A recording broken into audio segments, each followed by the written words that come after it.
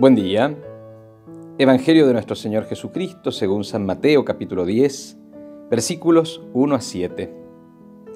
Jesús llama a los doce, les da poder para expulsar al espíritu del mal y para sanar toda clase de enfermedades y dolencias. Los envía para que proclamen que el reino de los cielos está cerca.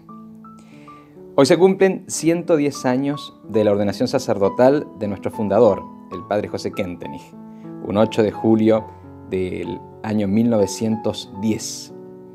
Y recordamos un sacerdocio tan fecundo como probado, como probado por la cruz. Aún hoy, agradecemos a Dios por el don que significa su persona y su ministerio, entregado con magnanimidad al servicio de la familia de Schoenstatt y a la iglesia. El padre Kentenich, como sacerdote, se sintió llamado también para expulsar el espíritu del mal y para sanar. Y también nosotros, participando en el sacerdocio universal de los fieles por el bautismo, estamos llamados por Jesús para estas dos cosas, en nuestra familia, en nuestro trabajo, en nuestro quehacer cotidiano, expulsar siempre el mal y sanar todo tipo de enfermedades y dolencias.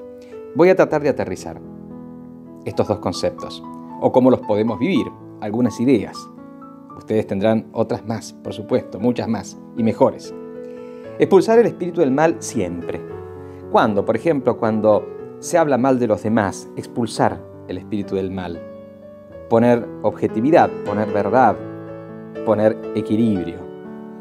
Expulsar el espíritu del mal cuando nos tratamos mal, en el trabajo, en la familia, en los círculos eh, de relaciones personales, de vínculos de amigos, de conocidos, expulsar siempre el mal, poner una palabra de reconciliación, una palabra de orientación para que podamos avanzar, no detenernos en lo negativo, sino que mirándolo de frente, mirándolo a los ojos, al espíritu del mal, eh, superarlo.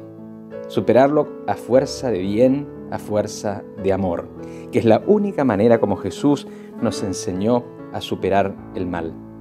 No con la venganza, no con la mentira, sino con la fuerza del bien, con el bien vivido de manera lo más ejemplarmente posible. Y sanar, sanar con qué? Con nuestro amor, con nuestra solidaridad, sanar también con nuestras obras de misericordia concretas en el aquí y en el ahora, en este hoy de la pandemia, en este hoy de Argentina 2020. Sanar siempre, sanar heridas en, en lo personal, sanar heridas producidas por el pecado, por los errores, por las debilidades, sanar siempre, como Dios lo hizo como Dios nos pide que lo hagamos.